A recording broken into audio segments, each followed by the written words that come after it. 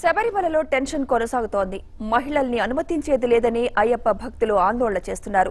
దీంతో అక్కడ పరిస్థితి నివురుగప్పిన నిప్పులాగే ఉంది. ఇవాళ ఇద్దరు మహిళలు శబరిమల గుడి ప్రాంగణం వద్దకు చేరుకున్నారు. అయితే వీరిని లోపలికి అనుమతించలేదు అయ్యప్ప భక్తులు.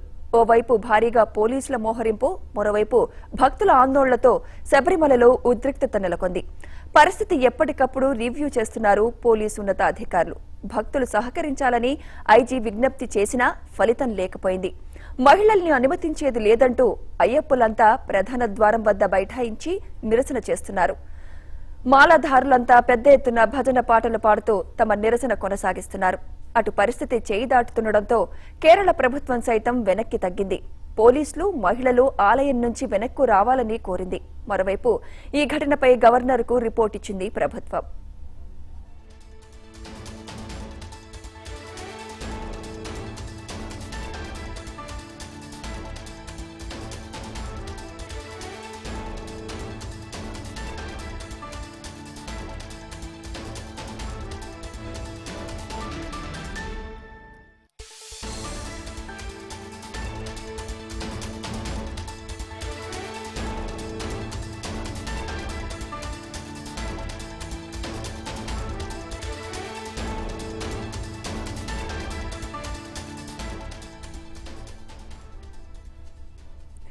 ప్రధాన ఆలయం పరిసరాలతో పాటు ముందు జాగ్రత్తగా నీలక్కల్ వద్ద కూడా భారీగా పోలీస్ బలగాలను మోహరించారు.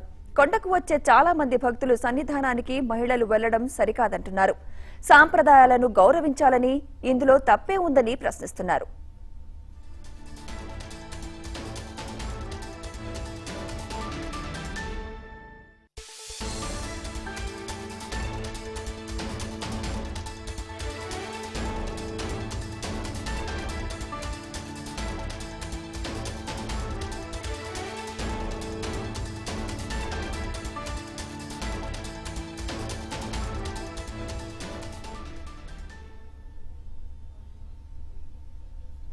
శబరిమల ఆలయంలోకి అందరికీ ప్రవేశం ఉంటుందని కేరళ సీఎం పినరై విజయన్ అన్నారు.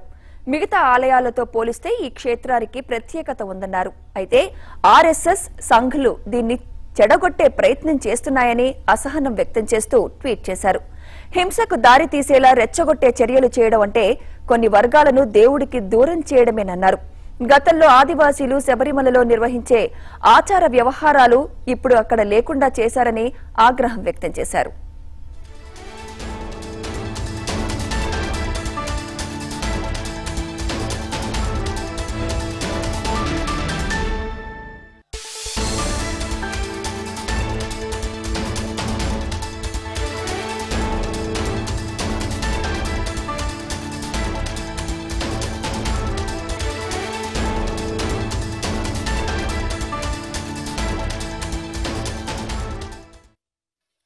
నేను సంవత్సరం పది సార్లు వస్తాను శబరిమలకి సేవ్ శబరిమలై దేవస్థానం బోర్డు చెప్పినట్లు పది సంవత్సరాల లోపల యాభై సంవత్సరాల పైన ఎవరైనా రావచ్చు ఆయన బ్రహ్మ నిత్య బ్రహ్మచారి ఆయన ధ్యానంలో ఉన్నాడు ఆ ధ్యానం మనం చెడపకూడదు We won't allow them. We won't allow them to go inside the temple. We we will struggle. We will struggle for what we done.